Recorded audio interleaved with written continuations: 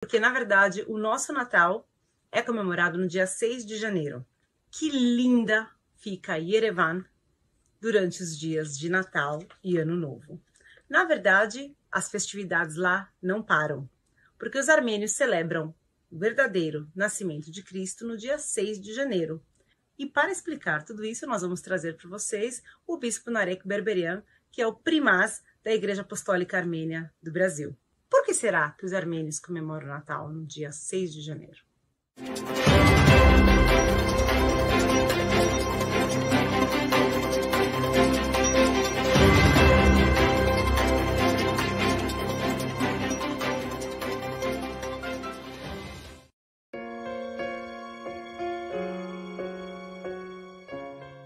Hoje apresentaremos para vocês sobre o significado do Natal. Por que a Igreja Apostólica Armênia celebra o Natal em 6 de janeiro? Por que nós benzemos água com pirão no dia do Natal? O que significa isso? Vamos ouvir e aprender as tradições da nossa igreja. Frequentemente, pergunta-se por que os armênios não celebram o Natal no dia 25 de dezembro com o resto do mundo. Obviamente, a data exata do nascimento de Cristo não foi historicamente estabelecida, não está registrada nos evangelhos. No entanto, historicamente, todas as igrejas cristãs celebravam o nascimento de Cristo no dia 6 de janeiro, isso até o século IV. De acordo com fontes católicas romanas, a data foi alterada de 6 de janeiro para 25 de dezembro, com o intuito de substituir uma festa pagã dedicada ao nascimento do Sol, que era celebrada em 25 de dezembro. A fim de minar esta prática pagã, a Igreja designou que 25 de dezembro seria a data oficial do Natal e 6 de janeiro a festa da Epifania.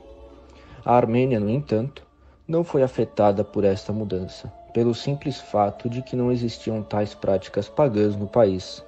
Assim, Mantendo-se fiéis às tradições da Igreja, os armênios seguiram celebrando o Natal em 6 de janeiro, como o dia do nascimento de Cristo e batismo no Rio Jordão, realizando a cerimônia da bênção da água.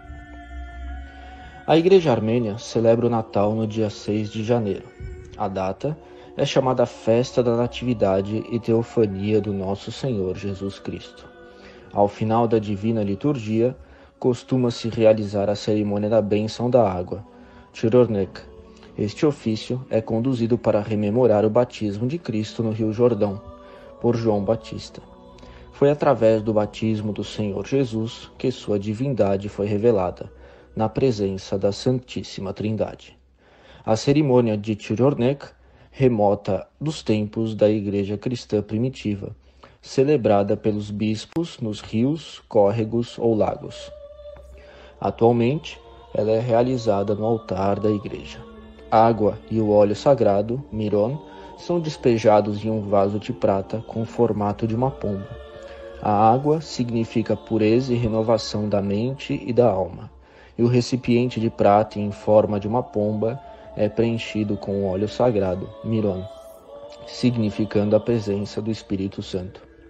Neste dia, é também costume escolher o padrinho da Santa Cruz, ele usa um chabique de cor coral e segura uma cruz durante o ato. Na benção da água, o celebrante submerge a cruz na água, simbolizando o batismo do Senhor. Depois, ele retira a cruz da água e a devolve ao padrinho, que a segura. Ao final da cerimônia, as pessoas se aproximam do padrinho, beijam a cruz, recebem uma porção da água abençoada para levar às suas casas. Essa água é usada na cura dos enfermos.